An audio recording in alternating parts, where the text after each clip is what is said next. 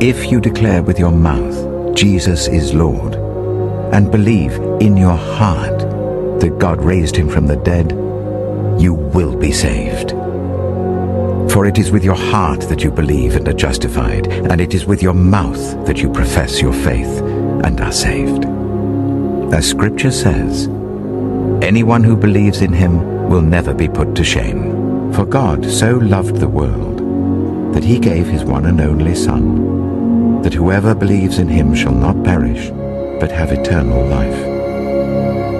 For God did not send his Son into the world to condemn the world, but to save the world through him. Whoever believes in him is not condemned, but whoever does not believe stands condemned already, because they have not believed in the name of God's one and only Son.